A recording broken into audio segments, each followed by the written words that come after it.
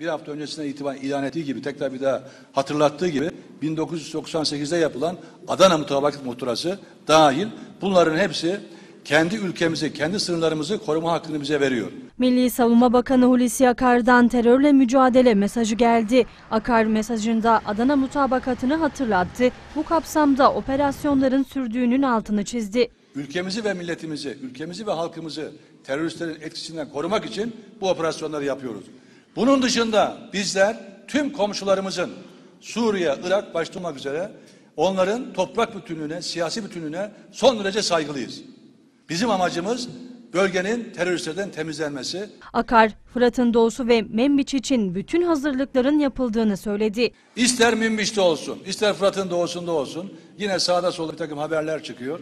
Çeşitli orada teröristlerin çukurlar kazdığı, hendekler kazdığı, Türk Silahlı Kuvvetleri Münbiş'te de Fırat'ın doğusunda da o çukurları kazanları, o çukurlara gözmesini biliyor. Operasyonlar sadece karada ve havada sürmüyor. TSK denizlerde de aynı mücadeleyi devam ettiriyor. Bazı siyasi etkenlerle, bazı yanlış hesaplarla buradaki olaylar maalesef e, çarpıtılıyor.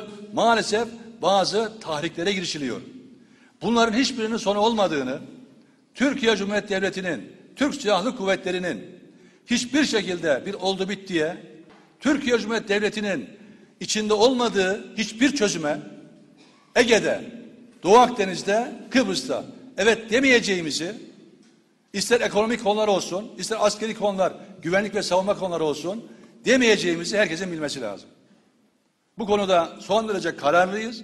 Akar, İran kuzeyinde Türk üssüne yapılan provokasyon için de konuştu. PKK planının tutmadığını söyleyen Akar, Erbil yönetiminin zamanında aldığı tedbirlerin olumlu karşılandığını belirtti.